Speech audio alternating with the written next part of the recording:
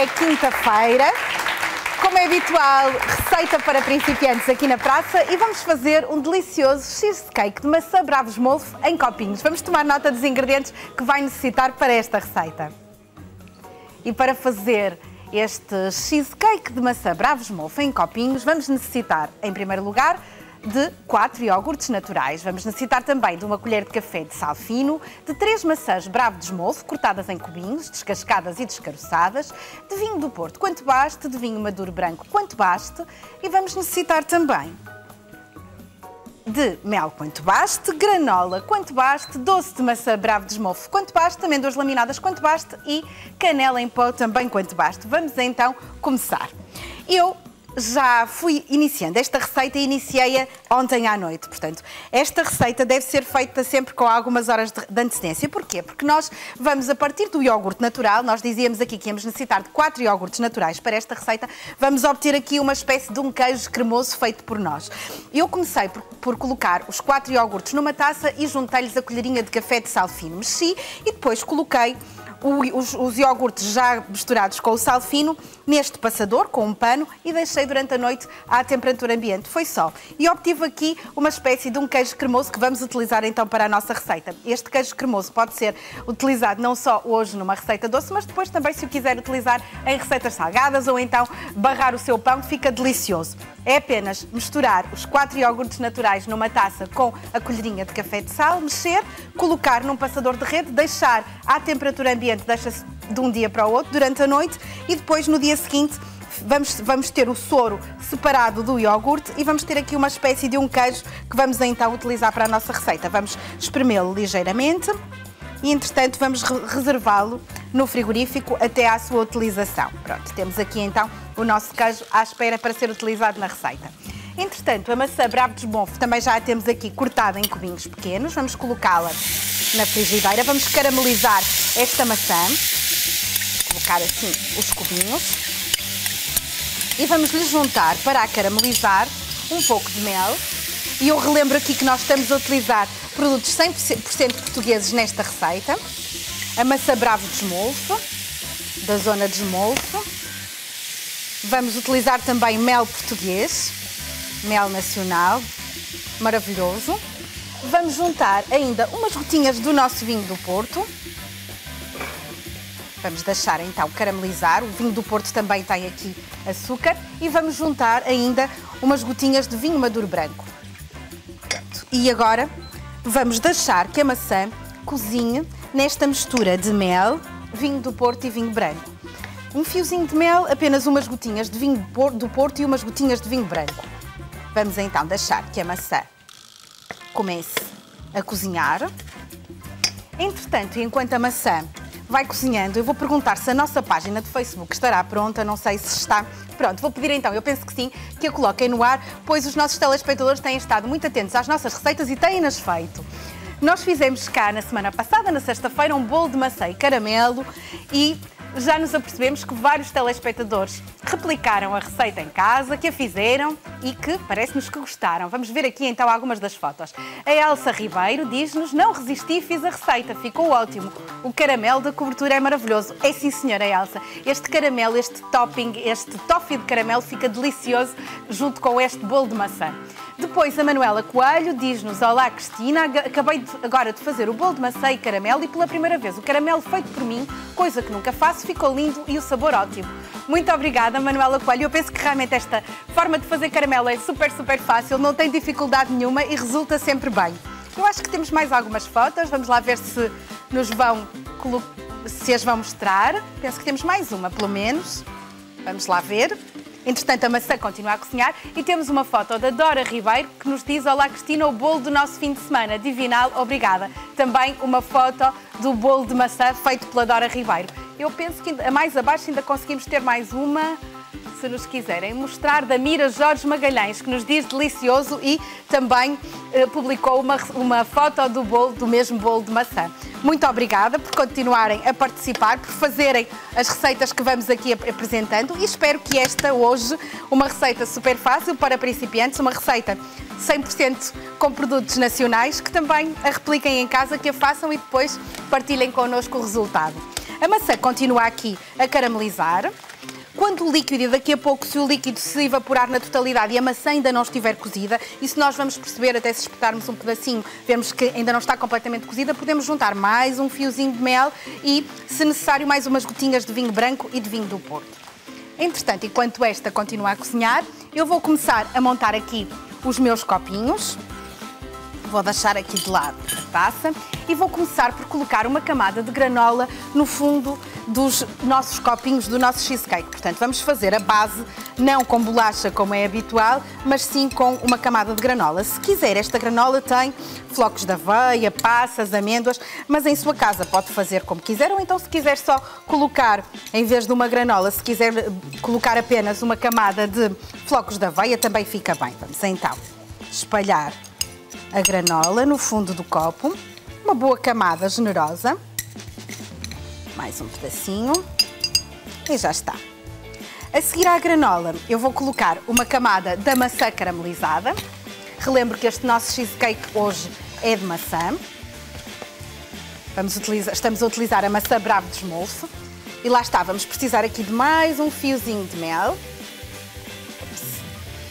Regar com mais um fiozinho de mel mais umas gotinhas de vinho do Porto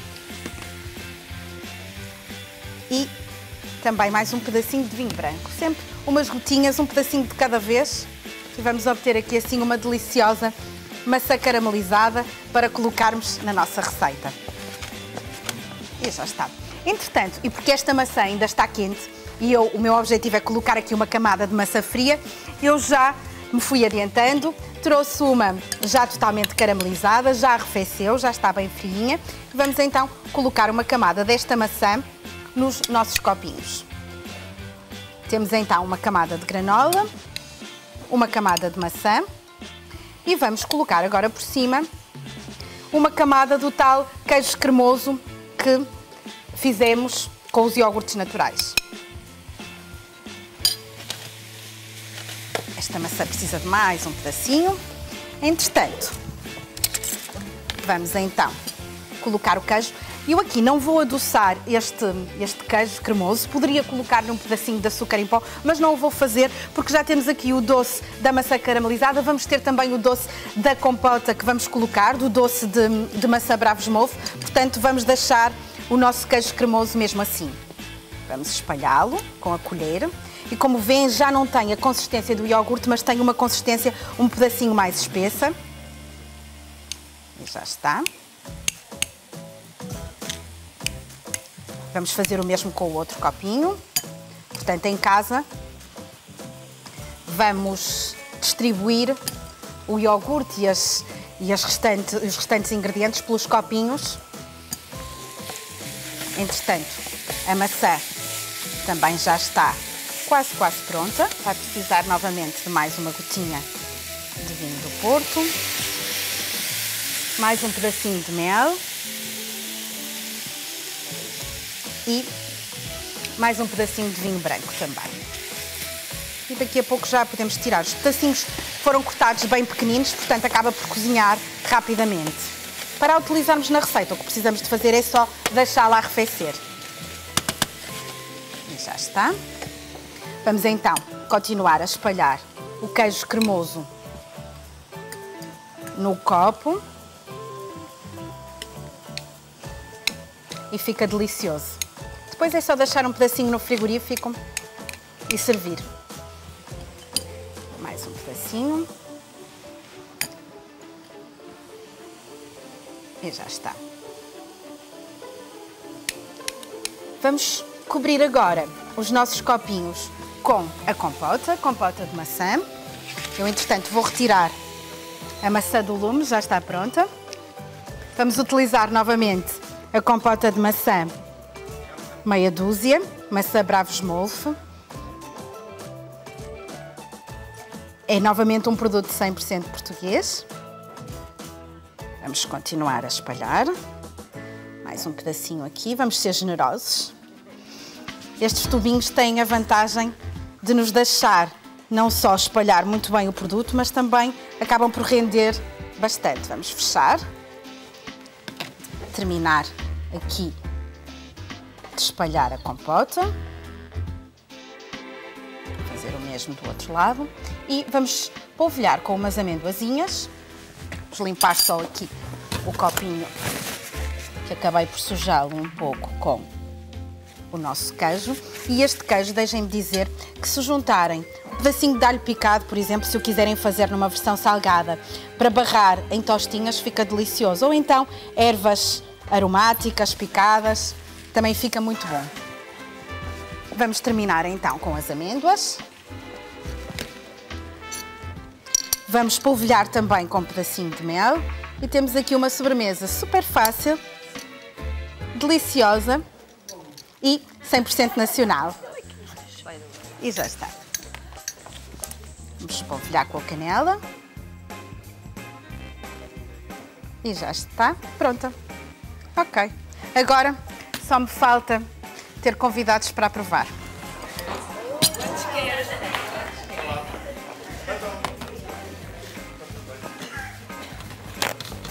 Vou só limpar. Quero, preciso, preciso. Não sei se, se o António Raminhos serve. Serve, perfeitamente. A mim também. Já nos conhecemos ali embaixo também. Lá embaixo. Maçã. Maçã caramelizada. Porque Maçã bravo de molho. Exatamente. Bravos quê? Bravo de desmolve, tu não, Eu sei tu não quais é que são. dizer que não pá, não Não, eu sei quais é que são aquelas eh, verdes, não é? Meio... Pequeninas, sim, sim, pequeninas sim, com sim, um sim. sabor muito, intenso. Sim, muito. Antes de mais, eh, bem-vindo à praça. Ah, muito obrigado. Muito vez. bom dia. Bom dia. Vais falar daqui a pouco do, da tua missão 100% português. Exatamente. é? Exatamente. Eh, está, está a ser superada? Eu acho que está, sim. está com. Até agora, sim. Houve só um ou outro momento que as coisas não correram muito bem, mas pronto, faz parte. Mas Claro, pronto, faz parte. Olha, eh, por isso é que te convidamos também para eh, provares a receita 100% portuguesa. Posso ficar só no vinho do Porto. Não... É assim, mais português não há, não é? É para aquecer como está este tempo. Vinho maduro branco, mel nacional, Todos os amêndoas, amêndoas também no Raminhos, não foi? Cá Foi. está, 100% português, exatamente. Muito bem. Os Ingredientes. iogurtes também nacionais e depois transformamos aqui num queijo feito, feito em casa, caseiro. Claro. Isto super fácil de fazer, não é? Super fácil. Posso? Sim, claro que sim. Queres provar? É Não- assim? não- Não, não, não, tem que ser para Vais É, poder tá- provar, só que não estragues, porque primeiro temos que fotografar. Tá bem. para Oh, o nosso. É verdade, não Então podes vá, quem é que vai provar tirar fotografias? ainda. É a nossa Adriana. Vai tirar a fotografia e depois podes provar e até comer. Provar e até, e até comer. Claro. Ah, pergunto, ajeitas-te na cozinha? Sim, geralmente até sou eu que cozinho. É. verdade, é verdade. As pessoas pensam lá para eu ser estúpido não sei fazer as Não coisas. pensam nada. As pessoas não pensam nada. Pensam, pensam, mas depois quando eu cozinho, às vezes eu até faço vídeos. No outro dia eh, estava a fazer um, um frango eh, caseiro eh, com um frango do campo com batata doce. Eh, No tacho, Uhum. eh, guisado, e depois as pessoas acham, epá, incrível. Que não- mas é que não como foste tu que fizeste, que não, foi como só para o fosse, vídeo. Sim, ou como se fosse eh, lá por eu ser parvo que não soubesse fazer as coisas, claro que sei. Até sou eu que cozinho, a maior parte das vezes E doces, também gostas de doces? Porque esta é uma Gosto, sobremesa. embora Vamos eu não, eu não coma muito açúcar, Sim. eh, eu dou sempre preferência Podes ao- entrar, Adriana. Podes ao- entrar. eh, às Pode, coisas adoçadas naturalmente, ou com tâmara, ou Sim. com outras coisas. que sejam adoçadas Sim, sim, de forma natural. Exatamente. Eh, mas eh, é o meu problema, sim, aos doces. E faço bolos também em casa, faço tudo. E, e entregas ao domicílio? Faço filhas, faço... Oh, maravilhosa. e também faço filhas com entrega ao domicílio também. As tuas Marias, meu Deus, o que elas sofrem nas tuas mãos, coitadas. É, eu acho que é 50-50, a gente vai dividindo. Também sofres, sim, não é? Sim, é Portanto, normal. quiseste partilhar, no fundo. Exato. é. Amor com amor se paga. Claro, obviamente, Não é? obviamente. Claro. Então, Cristina, se está a correr bem, é que o Raminhos Acho não se aguenta, quer Não, provar está aqui, cara. parece que está sempre no Instagram. Ele pode provar agora. Portanto, e a isto é granola? Não. É granola, é granola. E a granola feita também. Olha, Também feito, eh, também temos caseira. que Tem que ser posso já começar a, a lançar um desafio. Sim. Porque acho- sabes que hoje vais ter alguns desafios pela frente. Epá, não sim, te vou sim. dizer mais o quê.